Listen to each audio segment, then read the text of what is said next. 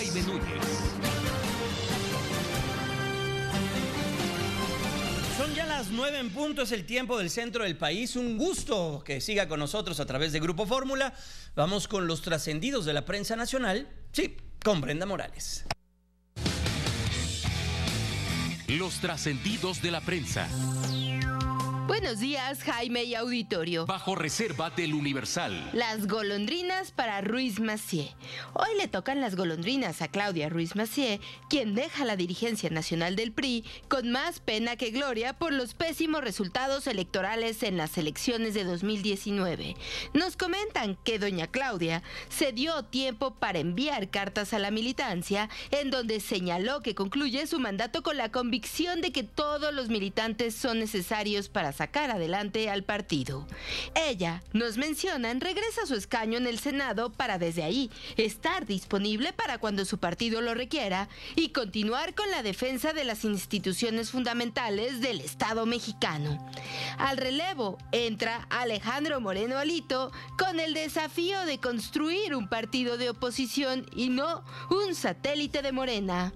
Nos mencionan. Templo Mayor de Fray Bartolomé en Reforma. Para este domingo está programada una mini marcha del Palacio de Bellas Artes al Zócalo, convocada por las redes López Obradoristas en contra de los jueces corruptos y obviamente con la consigna de apoyar la idea de darle al Ejecutivo también el control del Poder Judicial.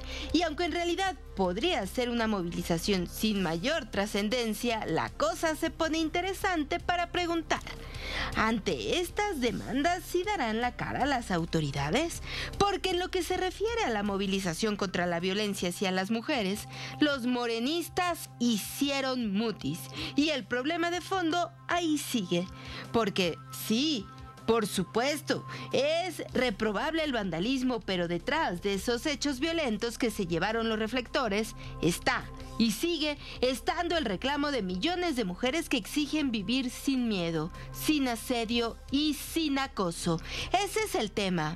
No hay que olvidarlo. Trascendió de milenio. Que en la toma de protesta de Alejandro Moreno como dirigente del PRI se espera hoy una visita de lujo, la del ex candidato presidencial José Antonio Mid, quien podrá partir plaza en la sede del tricolor en Insurgentes, una vez que la 4T revelado que no hay nada contra él por el caso de la estafa maestra. También se enviaron invitaciones a los 12 gobernadores priistas para una muestra de unidad y compromiso. Lo mismo ocurrió con los exdirigentes, de los cuales ya confirmaron su presencia César Camacho, Cristina Díaz y René Juárez Cisneros.